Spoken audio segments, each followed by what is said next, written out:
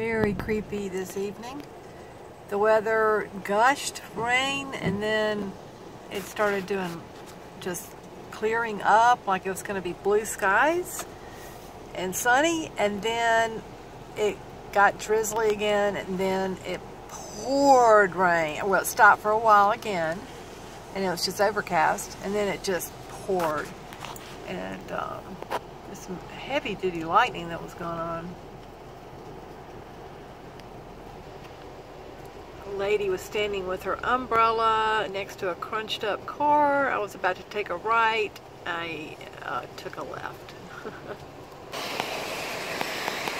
Just interesting front coming across. The lightning.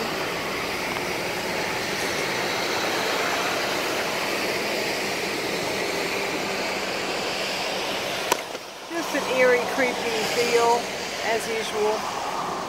Not as creepy, mind you. It's a little less creepy what's going on up there. Let's see.